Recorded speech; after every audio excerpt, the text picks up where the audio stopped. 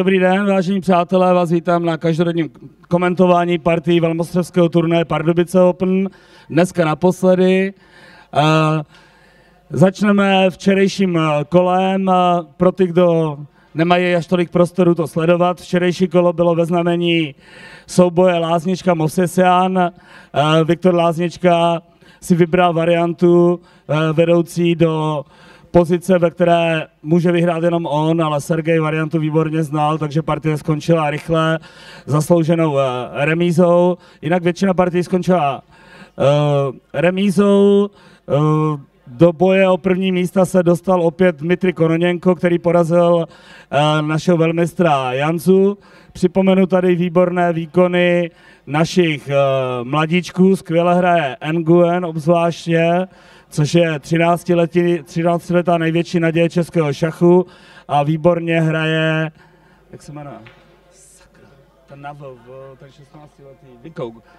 Vykouk, kterému dnes stačí oběma hráčům, podle mě, Vykoukovi stačí remíza dnes na titul na normu mezinárodního mistra, Nguyen musí porazit velmistra Teského. Uh, so we will go through the yesterday, yesterday's round. Uh, as you know, there was a, a big match, Lasnička Movsesian, which ended uh, fast in the draw when uh, Lasnička chose the variation where his uh, opponent didn't have any possibilities to win. Uh, White has sli slight advantage, and after correct play, the game was uh, drawn. Also, the other games in the top were draw, so after the round eight was clear that uh, Viktor Lasnička had the seven points, and if he will make the draw, he will win, will, he will win the tournament because there is a tie break is the average of his opponents. The same was for the second place, where uh, Sergei Movsesian, in case of draw, made the draw. Sergei Movsesian could win a tournament if uh, he will win, and uh, Viktor Lasnička will lose. Uh, so there was a big group with six points. Uh, many of them, many of players uh, had a have a chance uh, to get their title, norm of a grandmaster or international master, and we will see what will happen today. Uh, today's round pairing, we know already some results. Yevgeny, this game, the game of the on the first board it was up to the decision of uh, Grandmaster Vorobyov. For Grandmaster Laznička was enough to make a draw uh, to win a tournament. Vorobyov offered a draw in a theory, theoretical position, uh, which was accepted, and Laz Viktor Laznička won the tournament. Uh, Sergei Movsesian on board two. In case of draw, he would be second. In case of win, he could win the tournament. He saw that uh, Laznička made the draw, so he made also draw and he is uh, finishing second. Takže pořadí po osmém kole jste viděli, Viktor Láznička, uh, Viktorovi stačila remíza k vítězství v turnaji a tak tedy bylo na bílém, na Vorobovovi, jestli se rozhodne uh, hrát na výhru, a nebo ne, hrála se teorie a Vorobiov ještě v průběhu teoretické přípravy vlastně Viktora od pozice ve, slova, ve přijatém eh, dámském gambitu. Hrají, je to varianta koruní Martina Petra. Uh, Vorobev nabídl remízu, Viktor přijal a tím pádem byl první. Stejně bodu mohl mít ve v případě vítězství Sergej Movsesian, ale když viděl, že Viktor remizoval, tak vlastně remízou si pojistil druhé místo. Tady je dalších pět šachovnic, pět, eh, deset lidí bojuje vlastně o třetí místo a já mám obrovskou radost, že jedním z nich doteď je absolutně v současné chvíli na třetím místě a čeká na výsledky dalších dvou potenciálních soupeřů, je můj kamarád a vynikající český velmistr Robert Cvek, který sedí vedle mě a děkuji mu, že si našel čas, moc mu gratuluju ke skvělému výkonu a podíváme se na dnešní partii, kdy v 17 tazích porazil Eh, silného polského velmistra Krištofa Jakubovského. Pokud, pokud Robert bude mít ještě chvilku, podíváme se na další zajímavé momenty z jeho turnaje. Já osobně můžu z jeho partii na tady Pardubicích. Já osobně můžu říct a vy jste mými svědky, že vlastně jsme se nedívali skoro na každou partii Roberta. Já už jsem ho dlouho neviděl hrát v tak skvělé formě. ty partie častokrát jsou učebnicové díky jeho skvělé technice. I přitvrdil, což je důležité vlastně v Open turnaji. Takže paráda, podívám se na jeho partii. Uh, just in English, uh, today uh, Lásnička Vorobyov, uh, this game on the first board is up, was up to the Vorobyov, if he wanna play or not. He offered a draw, so the game was a fast draw in a theoretical position. It means that Viktor Lasnička won the tournament. Second place uh, going to Armenian uh, Sergei Movsesian, who made the draw after this game with Kononenko. Now, uh, Grandmaster Zweck, uh, very strong Czech uh, representative, is sitting next to me. He won in 17 moves against strong Polish uh, Grandmaster Krzysztof Jakubowski, and uh, we will go through this game. Je partie posledního kola, kterou jsem hrál jo, uh, s Jakubovským, Krištofem. Bylo to pro mě docela obtížné. Uh, bylo to pro mě docela dost obtížné jako psychologicky se naladit na tu partii, abych hrál tvrdě na výhru. Jo, jo, OK, OK. Aha. Uh, ale nakonec jsem se, no ne nakonec, to říkám špatně, ale i díky tomu, že mám vlastně jedinou šanci, takhle prostě, uh, já nevím, kdy se to bude opakovat, že bych mohl dopadnout v pardubickém turnaji, prostě dělit nějaké třetí, druhé místo, což samozřejmě je pro mě obrovský úspěch. Takže jsem se naladil, ale ne, není to prostě jednoduché. Všichni, kdo hrají šachy, tak ví, že ta psychika tam hraje svoji velkou roli tak jsem se prostě naladil na to jít tvrdě po vítězství. Samozřejmě mi strašně pomáhá moje přítelkyně s dcerou, se mi ty šachy hrají úplně jinak než kdysi, protože pro mě jsou ty šachy furt strašně důležité, ale číslo jedna je rodina, to je úplně jasné. Takže z toho hlediska jsem zachovával uh, klid, což jsem kdysi předtím uh, neměl.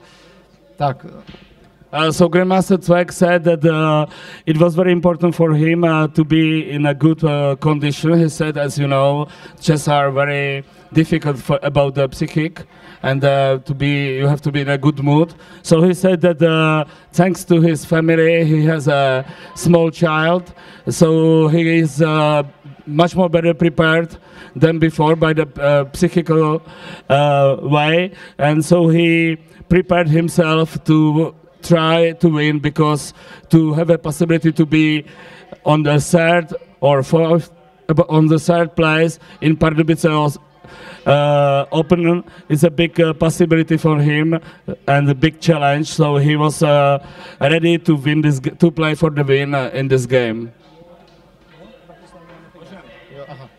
Tak, OK, takže uh, já jsem zahrál teda, uh, jo, já jsem zahrál D4 v prvním tahu a soupeř mě samozřejmě překvapil tím, že zahrál F5 holandskou. To jsem uh, nečekal. No a tak jsem zahrál, tady jsem váhal, jestli zahrát klasické G3 anebo C4, anebo zahrát ostřejší kun C3, to jsem se rozhodl. Soupeř zahrál kuň F6, střelec G5, D5 a teďka to je důležitý moment, protože moje teorie skoro končí, ale ne, takový Klasický tah je zahrát střelec bere F6, to je takové normální pokračování.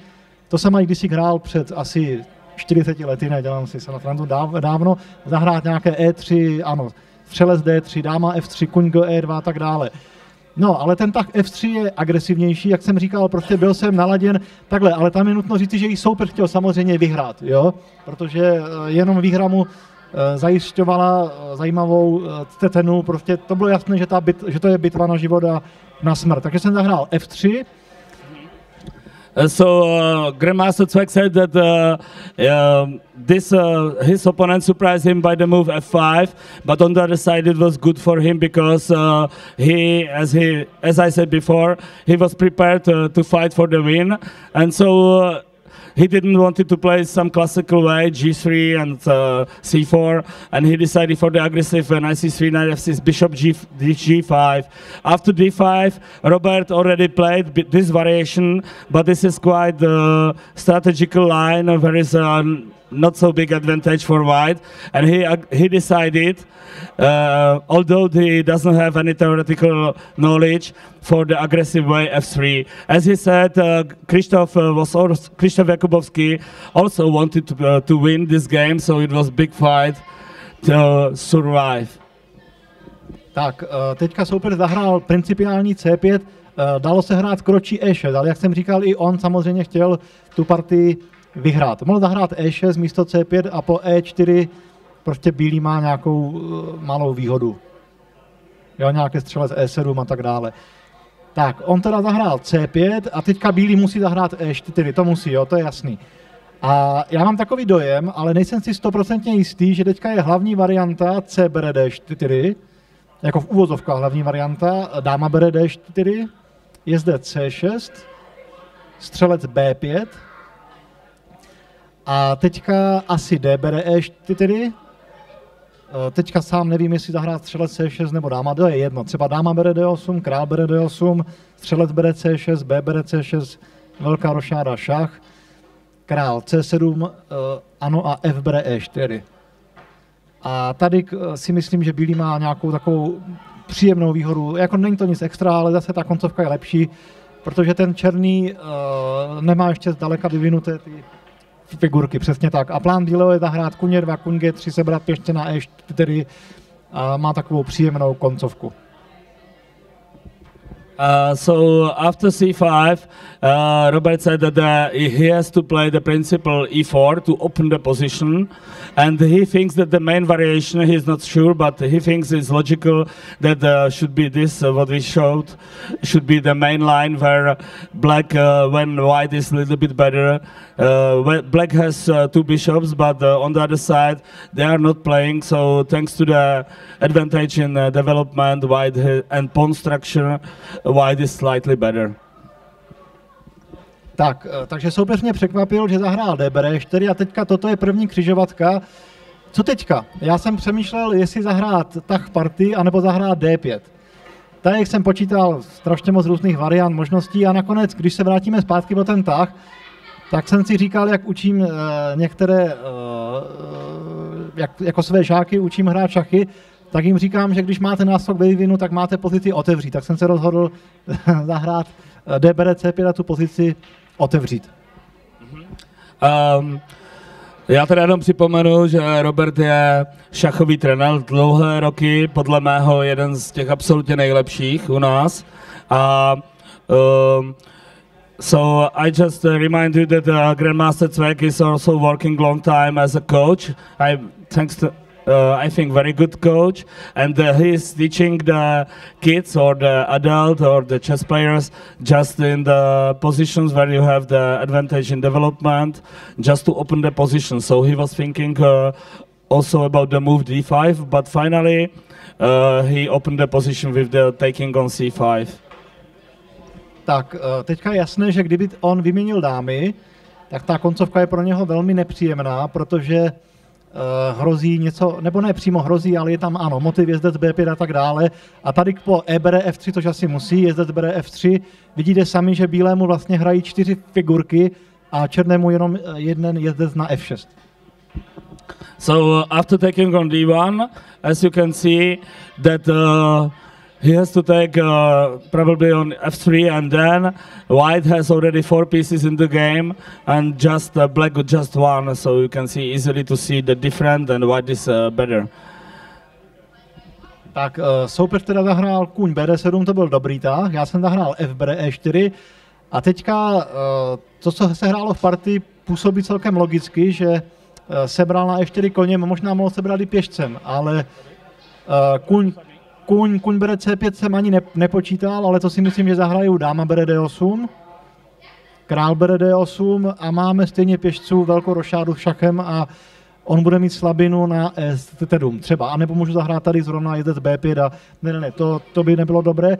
Takhle, on to možná mohl být pěšcem, ale to je trošku sporné, že bílý má někdy něco jako střelec C4, dáma D2 a tak dále, že ten král na E8 je slabý. On podle mě to kuň bere 4, ta výměna těch jezdců není od něho špatná. Já teda nevím, jestli střelec E4 nejsilnější, ale ta, ten tah kůň bere E4, ta výměna jezdců podle mě působí logicky, protože černý si ulehčí tu pozici. Mm-hmm. So Robert uh, thinks that knight, knight takes e4 is good move because black is in defense and it's good uh, to change pieces. Tak, uh, on teda, za, jo, přišlo, kuň bere, F bere a toto je kritická pozice, protože původně jsem zamýšlel, nebo ne zamýšlel, ale tady jsem měl dva tahy kandidáty a to sice tah party, anebo dáma D2. Ale dáma D2 je měkké, protože on zahraje jednoduše kůň bere C5. A ta koncovka není samozřejmě špatná za bílého, ale je to, je to, je to málo. Protože tím tahem kuň E2, když se vrátíme, po kuň E2, kdyby on teďka sebral na eh, C5, tak uh, bílý má tempo, jo? nebo dokonce dvě snad, nebo no jedno, no, zahraju dám, dáma bere D8, král bere D8, velkou rošádu, kun C3 a mám prostě skvělou kon, koncovku. Ten král, vidíte sami, je tam slabý, že? Ano, zahraju kun C3, psb 5 věž E1, prostě toto je krásná pozice, kdy ten bílý má jasnou výhodu. Uh, so Robert explains where is the difference between uh, the queen d2 and uh, knight e2. He thinks that here the white uh, after knight c3 that he will get later the pawn on e4, the weakness on e7, and it's fantastic position for white. I will have a question why white is not playing bishop c4 in this position. Moje otázka, proč uh, není dobrý tak střelec c4, jenom tak uh, pro nás tady. Eh, takhle, tam těch tahů je hodně, střelec C4 je možnost, eh, na to by možná mohl zahrát, já nevím, teďka eh, třeba jednoduše kůň F6, ale nevím, tady, tady bych... Jo, takhle, jo, tam je se 7 jo, ne, tak kůň, kůň E5, ne, já jsem teďka zapomněl. Možná, nevím, nebo může zahrát dáma A5 šach, tady to střelec C4, já jsem to chvilku počítal, dám, dáma bere C5, ano. A tady on totiž potom má obranu, on má plán zahrát kůň F6, střelec D7 a velkou rošádu. Jo, to jsem vlastně počítal tady toto, já už si to pam, pamatuju. Co co 4 vypadá pěkně, že chci zahrát dáma D5, ale já to nestíhám pro dáma A5, C3 a dáma bere C5, ano.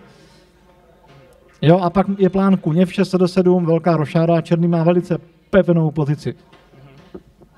So uh, I was asking just if uh, why White uh, didn't think about Bishop c4. Which, uh, Robert thought about this possibility, but uh, Black's uh, idea is knight f6 bishop d7 and long castle. So he showed me that in this variation, black will do this plan, and uh, it's uh, he has very solid position. So this is the reason why Robert played knight e2.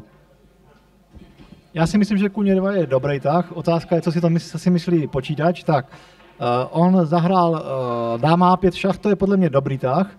Kdyby, uh, takhle, uh, jo, kdyby zahrál, uh, kdyby zahrál kuně vše, zase bych šel asi do koncovky. Dáma bere D8, král bere D8, velká rošáda, šach a je zde C3, zase to je blbá pozice, protože pěšců máme uh, stejně, ale zase vidíte, že ten vývin těch figur tam je prostě obrovský rozdíl.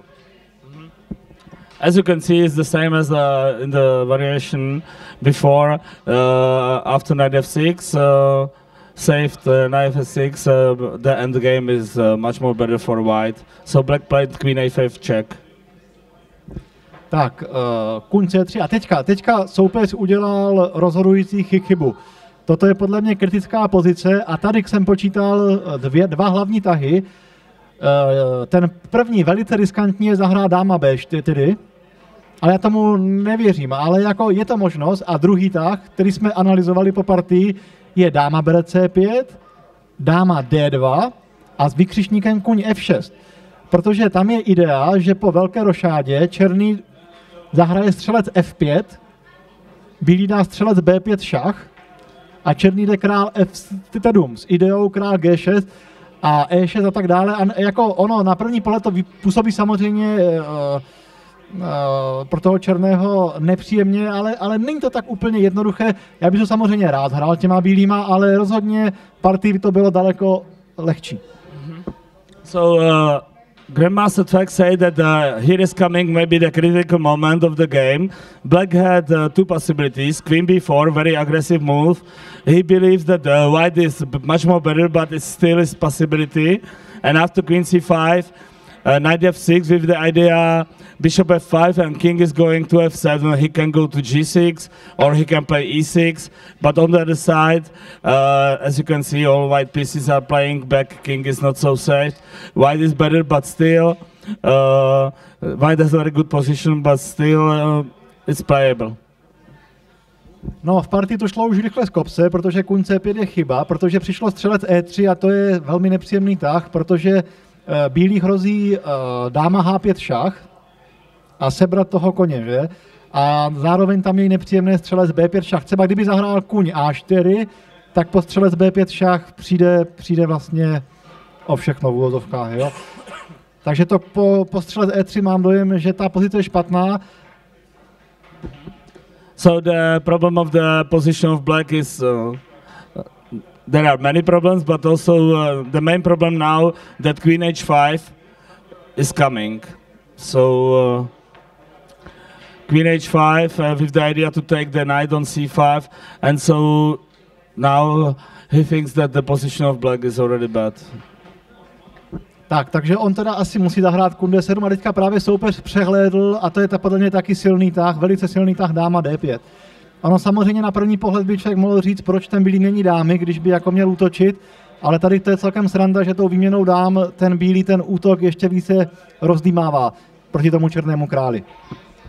Uh, this is funny situation that normally white should uh, attack the black king with all pieces, not to change the queen. But uh, Robert said that after queen d5, it's funny that uh, the attack uh, of white is growing. So uh, as you will see later. No, on ty dámy v podstatě musí vyměnit. Tady není tak, prostě jinak přijde se co 4 velká rošáda a tak dále, takže zahrál dáma bere D5, kun bere D5 a teďka hrozí kun C7, že? Takže musí král D8, a teďka uh, jednoduše zahrát roš, velkou rošádu, protože když se podíváte, ten, ten černý je skoro v cucvangu. So uh, after logic- logical continuation of white, as you can see that the position of black is bad and black is almost in Zugzwang.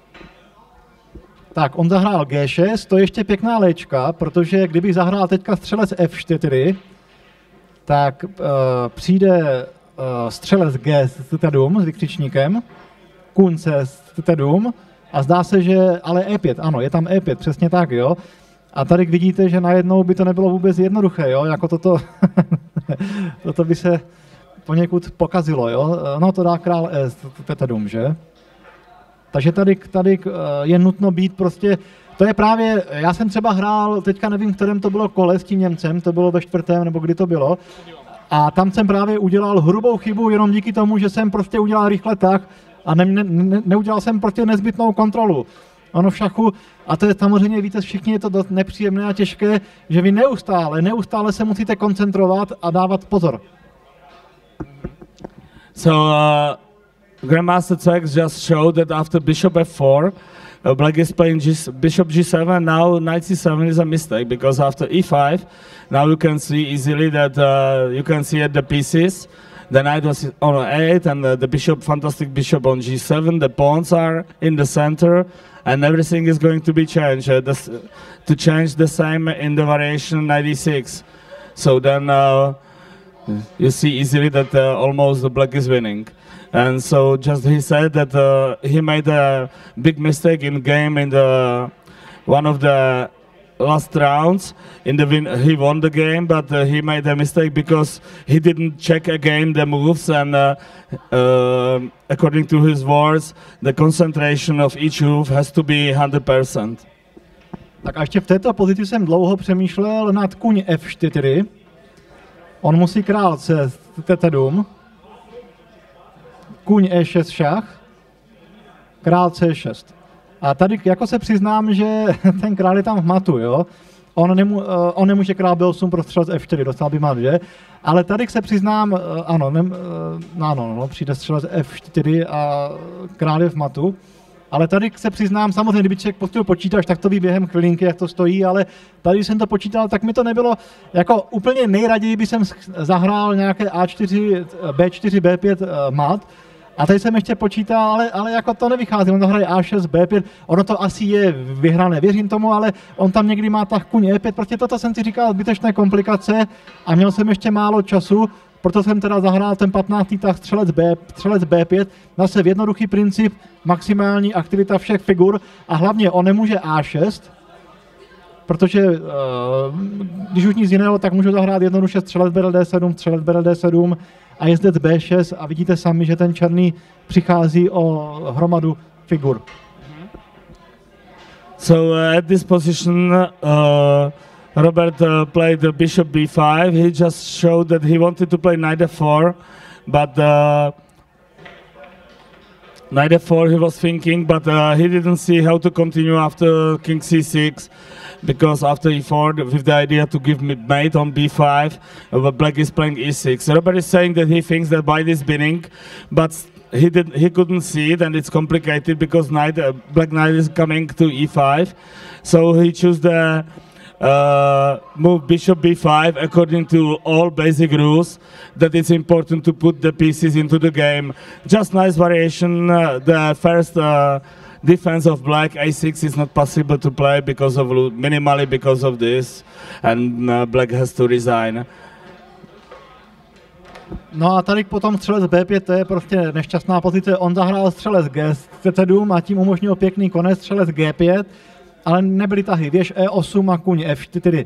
Tady jenom škoda, že ta věžka na H1 ne, nehraje, protože toto je, si myslím, velice pěkná souhra těch bílých figurek a vidíte, že i v koncovce se dá zautočit na krále. Proti kuň E6 není rozumné obrany. Ano, přišlo by jezdec E6 šach, a pak střelec bere D7 a tak dále a to je prostě uh, figura víc, ještě možná tam je nějaký mat.